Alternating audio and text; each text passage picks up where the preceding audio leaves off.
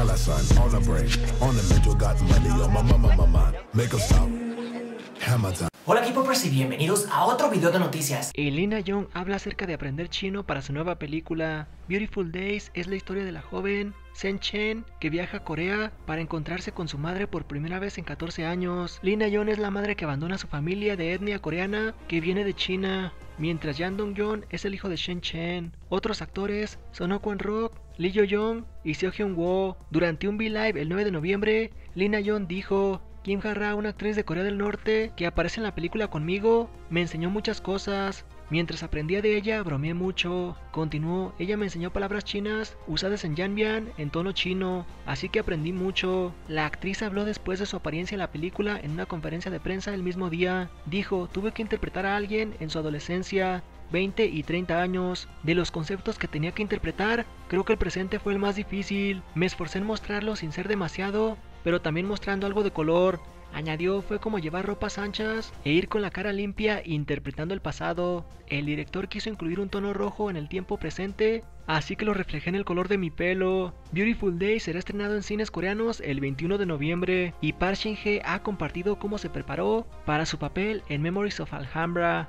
Park Shin-hye se está preparando para regresar a la pantalla chica con el próximo drama de fin de semana de TVN, Memories of the Alhambra, y recientemente habló sobre cómo se preparó para el papel. La actriz interpreta a Jung Hae-yo, quien viajó a España para cumplir sus sueños de convertirse en guitarrista, pero finalmente tuvo que administrar un viejo albergue para mantener a su familia. Park Shin-hye describió su personaje Okay. Como alguien fuerte que no tiene miedo a mantenerse firme, aunque tuvo que renunciar a sus sueños y administrar un albergue, nunca renunció a su lado artístico. Jung Hae-yo, llena de vida y con un gran amor por la música, asumirá muchos papeles como propietaria del albergue, guía de viajes y guitarrista. Cuando se le preguntó cómo se preparó para el papel, Park Shin-hye respondió, debido a que Oyo dirige un albergue en Granada, algunas de mis líneas estaban en español. Comencé a aprender el idioma porque quería que pareciera de lo más natural posible. También me aseguré de leer varias guías sobre la Alhambra, ya que también tengo que interpretar a un guía turístico. Park Shin-hye reveló que se esforzó mucho por aprender a tocar Memories of the Alhambra, una legendaria canción de guitarra clásica. Explicó,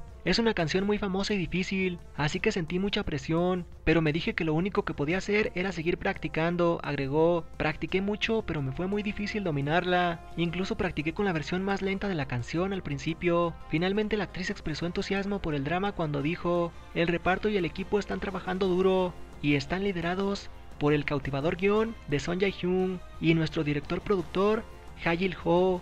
Memorias de la Alhambra será un misterio que hará las delicias de los ojos y los oídos de los espectadores al encontrar la combinación perfecta de acción y romance. Este es un drama que cualquiera pueda disfrutar, así que por favor seguirlo. Memories of the Alhambra será un drama de suspenso y romance que cuenta la historia de John Ji-won Hyun Bin, el jefe de una empresa de inversiones que visita Granada por negocios y se ve envuelto en una serie de misteriosos eventos durante su estancia en un albergue dirigido por Jung Hae-yo, Park Shin-hye. Este drama será emitido tras Room Number 9 y se estrenará el 1 de diciembre a las 9 pm hora coreana.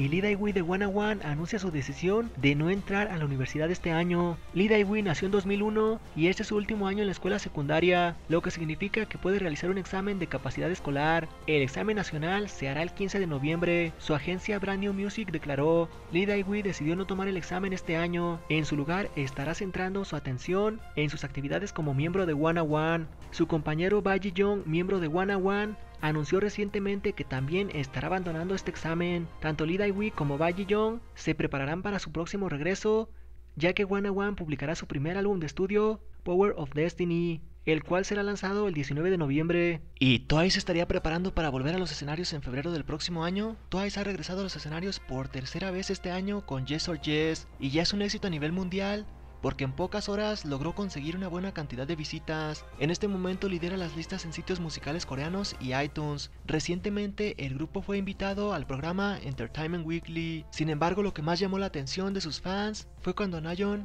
no quiso revelar los planes que tiene para los próximos meses. Los fanáticos sacaron la conclusión de que están preparando un comeback en febrero. ¿Tú qué opinas? ¿Y las fanáticas de Shiny están felices? Pues Ki tendrá un debut en solitario en Japón. Un integrante de Shiny que acaba de debutar como artista solitario después de varios años es Ki. El 6 de noviembre lanzaron Forever Yours, que cuenta con la colaboración de su gran amiga Soju. Sin embargo, Kim Boom tiene una buena noticia para todos sus fans. Resulta que el idol también hará su debut en Japón para diciembre con un mini álbum que será lanzado el 26 de este mes. Además se llevará a cabo los primeros eventos del artista que se llamarán Killan, que se desarrollará en Yokohama el 25 de diciembre y en Kobe el 22 de diciembre. Y Jenny y Jisoo de Blackpink describen a su tipo ideal de cada una. El 9 de noviembre dos integrantes de Blackpink hicieron una transmisión en vivo a través de V-Live para Star Road, así que hicieron una prueba para saber cuánto realmente se conocen. Una de las preguntas era que Jenny describiera el tipo ideal de Jisoo y viceversa. Sin embargo, Jenny no supo responder. Eso es un poco difícil, no estoy segura. Jisoo dijo, me gusta alguien que me quiera mucho y alguien que es bonito cuando sonríe. Luego Jisoo tuvo que detallar al príncipe azul de Jenny. El tipo ideal de Jenny es una persona confiable. Jenny declaró, supongo que no puedo decir que no a eso. Y Lee Jong-suk es el modelo perfecto. Recientemente la celebridad masculina asistió al evento de la inauguración de la famosa marca de relojes Omega. Esta se llevó a cabo en los espacios exteriores del Samsung Coex. Desde hace un buen tiempo el actor no aparecía en público, así que alegró a sus fanáticos. Lee Jong-suk fue visto con un suéter de color negro y un abrigo largo gris. A pesar de haber utilizado un simple atuendo, él llamó la atención de las internautas coreanas, ya que la ropa le quedó perfecta gracias a su 1,86 de estatura. Sin duda nos demostró que es el modelo perfecto. Y Momoland celebra su segundo aniversario con divertida sorpresa para sus fans. El 10 de noviembre Momoland se presentó en su segundo aniversario regalando a sus fans grabaciones personalizadas que podían ser usadas como alarmas. Los archivos de audio fueron publicados en un fan café de las chicas a la medianoche hora coreana. Se informó que Momoland pensó en la idea ellas mismas y cada miembro personalmente grabó dos diferentes alarmas para sus fans. Las idols remarcaron, es ya el segundo aniversario de nuestro debut como Momoland. Luego de conversar qué podíamos hacer para retribuir el enorme apoyo de nuestros fans que nos han dado hasta ahora, terminamos planeando este evento. Las miembros de Momoland continuaron. Hemos planeado y presentado esta sorpresa mientras pensábamos que cada uno de nuestros fans nos ha amado. Esperamos que las grabaciones de alarma de Momoland los hagan felices cada día. Una vez más, los amamos a todos nuestros Marys, que es el nombre del club de fans de Momoland. Y felicitaciones a Momoland por este aniversario. Y molestaron a una chica de universidad tan solo por ser ARMY. Sin duda BTS tiene un gran fandom, ya que cada vez aumenta su popularidad. Sucediendo lo mismo con sus fans, esta semana una historia sobre una ARMY ha estado circulando en las redes sociales y definitivamente causó la indignación de muchas fanáticas. Hace unas semanas atrás, una chica entró a la universidad. Lo peor es que ella tenía una mochila con el logo de BTS y básicamente llamó la atención en la escuela. Hoy al terminar las clases, mi grupo y yo decidimos tirarle harina porque se lo merece. Esta situación puso en alerta a varias fanáticas que por nada del mundo toleran este tipo de comportamiento. ¿Tú qué opinas sobre esto? Sin duda en este 2018 estamos peor que nunca, ya que parece que cada vez más hay más odio en el mundo. ¿O tú qué opinas sobre esto? Por cierto, recuerda suscribirte al canal, ya que cuando lleguemos a 600 mil suscriptores, regalaré la Army Bomb de BTS. También recuerda decirle a más amigos que se suscriban, y así llegaremos más rápido a esta meta y podré regalar este artículo más rápido.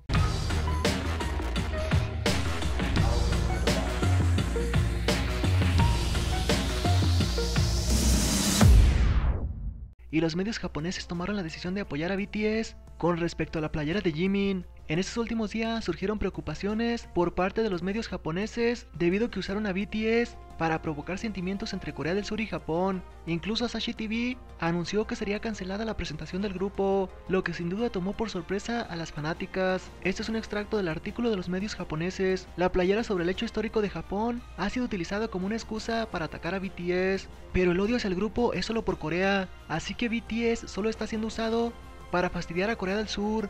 ¿Tú qué opinas sobre esto?